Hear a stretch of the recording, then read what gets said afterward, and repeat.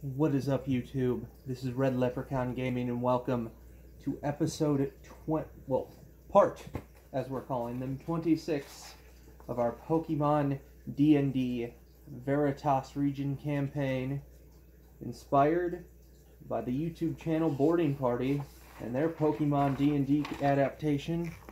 Please feel free to check them out. Their videos are amazing. When we last left off, things were far from happy-go-lucky. Renmond has seen many things in the short span of this campaign. From the destruction of his home to raiding a Team Reverence base, desperately trekking across the vast wilderness to try and make it to the professor's lab, and finally arriving into Vestavilla and defeating a gym leader. But nothing could have quite prepared him for the carnage and devastation that played out when Team Reverence attacked the city of Vestavilla. The largest city in the southern part of the Veritus region. Such an attack was completely unexpected, and they were thus unprepared to handle such a thing.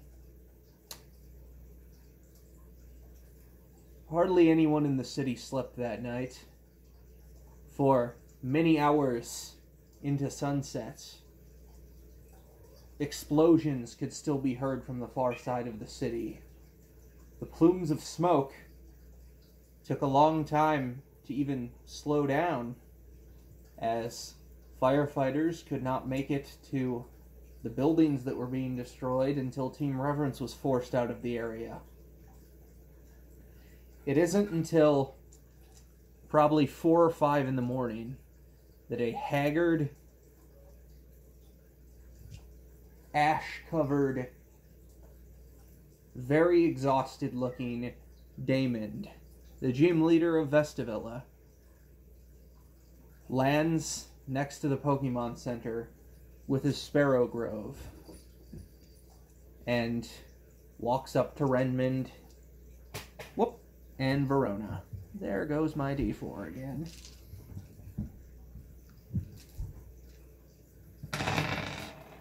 Gotta remember to stop throwing my dice back and forth between my hands.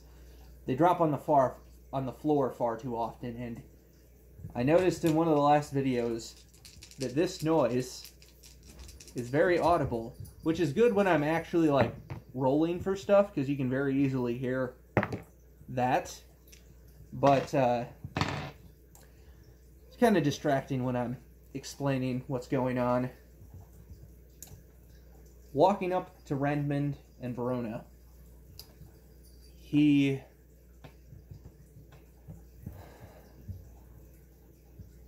sighs very audibly and proclaims that Team Reverence have been forced out of the city.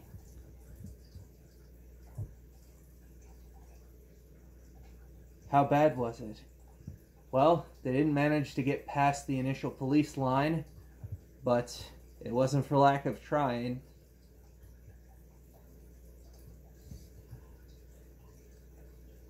Pulling up alongside them is a very familiar looking face Officer Jenny. Her sisters and her run every police station in every po- in every city across the world. It's a large family. Officer Jenny walks up to them. I hear you two were there earlier on when the fighting first broke out. Damon said something about you taking on a couple of the grunts in an alley. Yeah. They uh they didn't seem to really care whether they hit our Pokemon or not. They were toppling buildings left and right, just missing attacks. It was like they didn't care if they hit us or destroyed the city around them. Did they mention what they were after? No, but I could tell they weren't following anyone specifically. They were just marching straight towards the center of the city. We uh we did manage to capture many of the grunts that were there. How many did you see? That were around the admins, maybe 35 or so. We couldn't tell how many had spread out to go down the side streets and stuff. Yeah, that sounds about right. It appears the admins, once they realized they were losing, didn't care too much about evacuating their forces. They had the Druddigons travel, or, uh, guard their escape. We didn't catch either of the admins. Couldn't identify them either. One of them's named Fear. His name is Fear? That's what they call him. You heard them say this? Yeah. And I saw him on the road here, Route 403, when I was heading to Morinder. I saw him on the route. He had grunts stationed along the road. They must have been planning this attack for some time. They hit a section of the wall exactly where it would bring it down.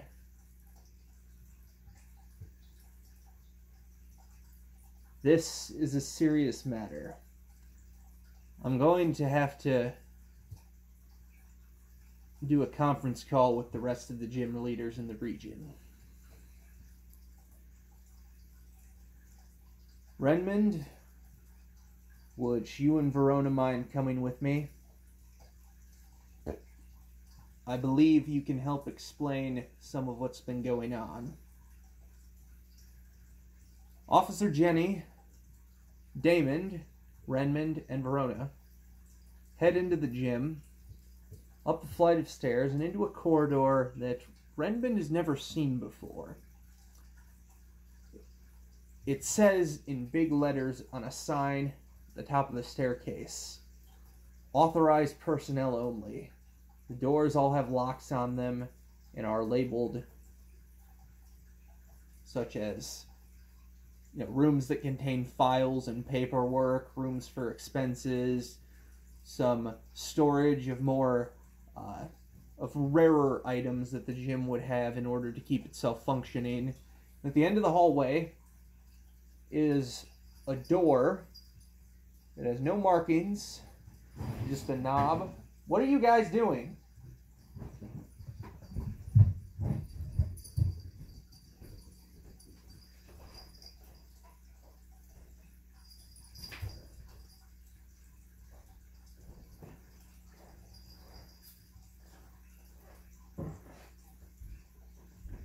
I don't know what they're knocking over, but I don't see anything. That was obviously something plastic. Anyways, they head up to this nondescript door, and it's just got a doorknob with a key slot in it. Damon takes out a key and unlocks the door. Inside the door is what looks like a conference room. There's a big table but all the chairs are facing towards one wall, and on that wall is a large screen. They all take seats at the table, and Damon begins typing on a computer. He's on there for a while. As the screen turns on, they can see that it's sectioned off into a bunch of webcams, for lack of a better word, showing faces of individuals who are clearly in other cities across the region. In the middle is a space for photographs and documents to be displayed. Gym leaders of the Veritus region, Vestavilla has just been attacked by Team Reverence. It's uh It's going to take a while to find out the exact numbers, but it's looking like the civilian death toll is somewhere around 100. Around 15 Team Reverence Grunts were killed in the fighting. About 40 were captured. Both of the admins involved in the incident escaped. Several buildings were destroyed, and the outer wall of the city was breached. It was a very clearly planned attack, and we have yet to determine what exactly they were lurk- looking for. However, it appears that whatever it was, they never got it. One of the men in one of the other windows around the edge of the screen leans towards the camera, says, Gormberg was also attacked several days ago. They didn't manage to breach the walls, but there was a great number of them. At this point, a woman speaks up, and she says, Is it possible that this is somehow linked to the disappearance of Team Rocket in the Veritus region. A Pokemon leans into one of the screens. It appears to be an Alakazam, whose voice echoes ethereally through the speakers in the room. That would seem likely. Team Rocket has always had a strong presence across all of the regions, and it is not uncommon for them to perform such attacks on smaller settlements. But they never like to leave bodies behind, and there's never been anything on this scale before. I think it's safe to say that Team Reverence is gearing up for something big. On that note, I believe my friend here may have some information that we do not as of yet have.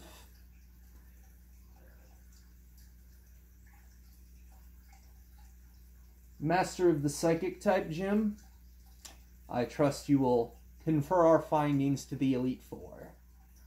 Yes, of course. Renmond, why don't you tell them why you came to my gym?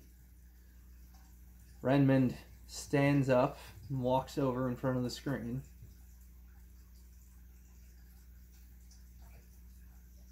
A couple months ago, my hometown, Coastbourne, the southernmost city in the Veritus region, was attacked by Team Reverence. They killed everyone in the city and stole my family's Pokemon. They fled to a base on Southstrom Isle where they appeared to be doing some sort of experiment regarding the evolution of Eevees. What kind of experiments are we talking about? Says the woman that uh, Renmond does not, as of yet, know. These are just screens showing the people's faces. There's not like names or anything under them, and he hasn't met these gym leaders yet. Renmond throws out his Pokeball, and his Umbreon comes out. What type of Pokemon is that? Dusk looks at the camera and in English says, I was an Umbreon. You can speak. Yes. Before Team Reverence captured me, I was an ordinary Umbreon. Renmond's father evolved me early so that I could learn the maximum amount of dark type moves. When Team Reverence captured me, they put me in some kind of machine. an older man with graying hair, almost white, leans forward in his camera and says, uh, What did the machine look like? Renman responds, It had rubber tubing. There were three large tanks containing some sort of, for lack of a better word, elixir. And there was a lot of power going into the machine. When they turned it on, the chamber filled with light. Apparently, from what we've been able to figure out by talking to various people, such as Professor Ginkgo, the elixir appears to have contained some amount and variety of powderized evolutionary stones. Beyond that, I have no idea. Something in the laboratory said something about getting ahead of Team Rocket, but apparently they've already done that. And once the machine had been activated, it did this to your Umbreon? Dusk responds, Yes. When I went into the machine, I was an ordinary Umbreon. When I came out, I had forgotten most of the attacks that I knew, and I have apparently become a ghost fire type. You're saying they have a technology that is capable of changing a Pokemon's typing. The way Professor Ginkgo expli- explained explained it, the way the professor explained it, was I don't know why Renman is suddenly Scottish, but he is now. uh, the way Professor Ginkgo explained it to us was that they likely took Umbreon because Eevee is already one of the most adaptable Pokemon. So we don't know if it would work on something that wasn't an Eevee or an evolution. And the machine also no longer exists. What is that supposed to mean? When I freed my Umbreon from the machine, I pushed one of the scientists into the control panel. He became impaled upon one of the levers of the machine, and in a struggle to get off, he did something that overloaded the machine. After I left the island, it exploded. So, the base on Seltram Island doesn't exist anymore. Not as far as I'm aware. I'm guessing most of the grunts and scientists that worked there were killed in the explosion. Heck, I was miles away at the time, and by the time it exploded, and I didn't escape unscathed. What does that mean? Renman takes off his, uh, for lack of a better word, bandanas, revealing the extent of the burn scarring on his face. I was rescued by a group of uh, Gardevoirs. They spent a week trying to heal me, but there was only so much they could do. I was struck by a piece of molten metal from the facility.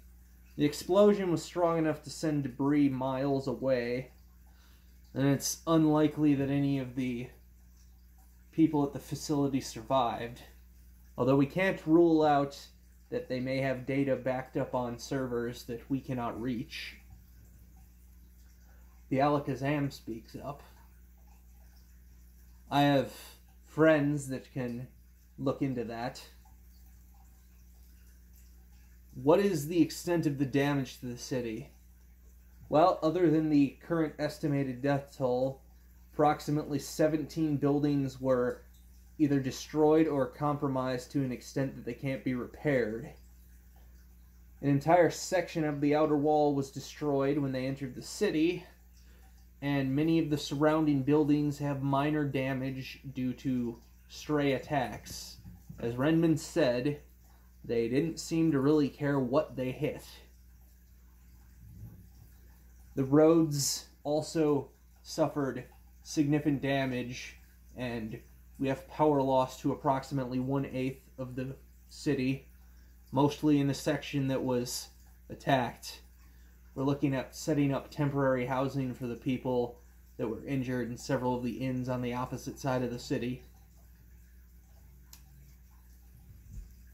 How did Gormberg fare? Well, they put up a hell of a fight. Poked a few holes in the outer wall, but none of them got through. Thankfully, a couple of people entering the city spotted them when they were on their way to breach the wall, and I was able to make it there in time to stop them. We fought them off. It appeared that two admins were also present at the attack on Gormberg. That suggests a network of Team Reverence spanning the countryside comparable to the presence of Team Rocket several years ago. Yes, I believe Team Reverence to be in multiple parts of the country.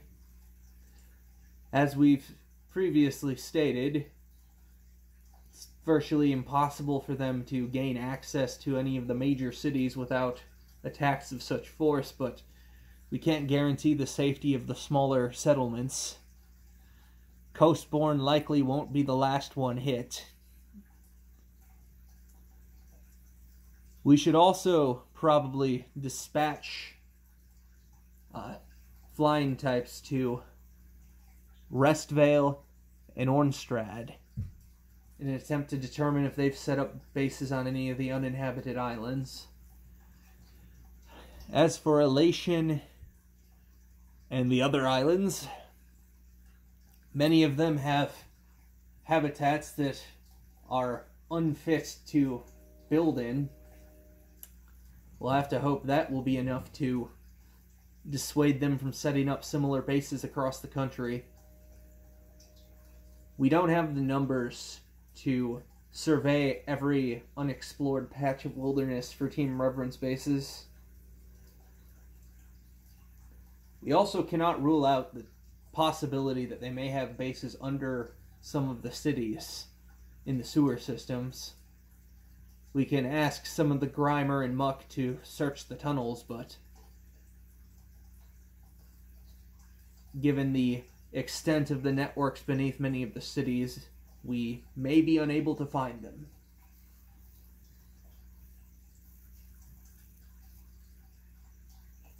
You say this Renmond. Why? That is, why did you come specifically to Vestavilla? To become strong enough to take down Team Reverence. That is no easy feat. If you had said that you were aiming to become champion, that would be no less of a challenge. From what we've seen from this, Team Reverence may be in all parts of the country.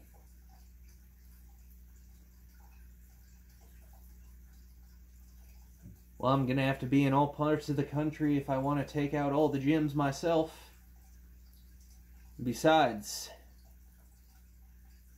I'm not gonna let them get away with what they did to Coastborn. Me and Dusk have our own score to settle with Team Reverence. What of the Pokemon that Team Reverence used in the attack? They were powerful, at least comparable to early stage gym Pokemon. Those Druddigon, they were stronger than any Pokemon I've ever seen a criminal organization wield. I find it hard to believe that those Druddigon were helping them willingly. If they had been captured, it, they might have not had a choice. I think I can help you there, says Renmond. I encountered a pair of wild Druddigon on my way here in the wilderness. It's possible that Team Reverence simply stumbled across them as I did, and through sheer numbers managed to capture them. That would explain how they had such powerful Pokemon with them. They were using multiple types. Yes. Seemed to be mostly fire and water types. The dragons were obviously something we've never seen from them before. As dragon types are usually too proud to work with something like that. Could you tell if the other Pokemon were willing? Well, one of them had a Barraskewda. It seemed pretty eager to fight. It's possible that that specific grunt may have raised it himself. However, there are a couple that may have just been following orders. Do you have any of these Pokemon? Well, we've confiscated the Pokeballs of any of the Team Reverence grunts we captured.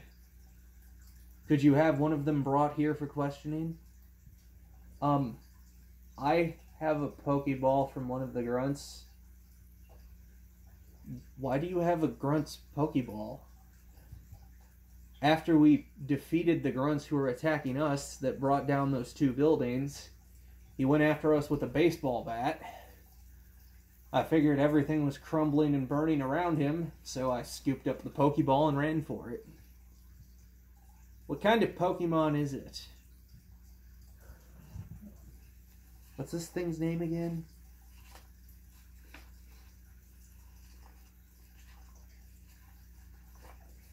Come on, I have it here somewhere.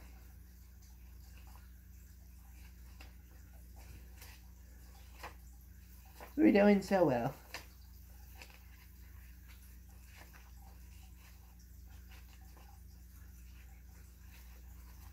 Here it is. Uh, it was a Drizzile. It didn't seem very confident in its moves. It's possible they might have stolen it. Can we speak with it? I mean, it's currently unconscious. We did just beat them in a battle.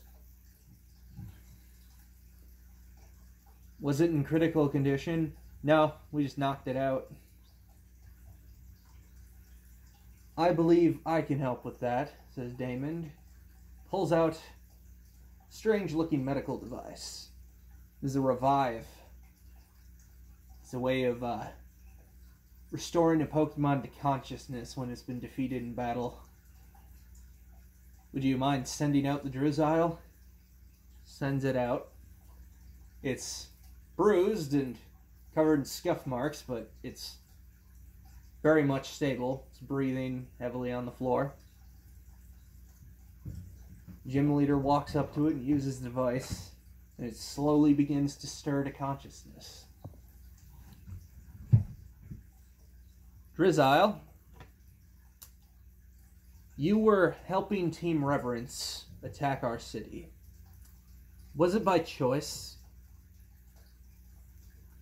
He just stares at him for a second. Renmond, would you mind uh, Drizzile?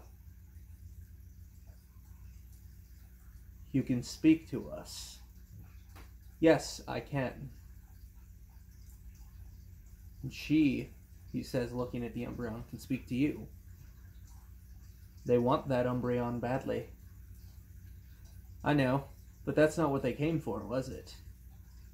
No. And I did not help them willingly. They found my trainer on the way here, killed him, and took me. I had no choice but to obey them. Do you know what they were searching for? Something old. They said something that had been buried for almost a century. Do you know of any such devices that would be buried in this city for over a hundred years? Is that what he says they were after? Yeah. Um, not that I can think of.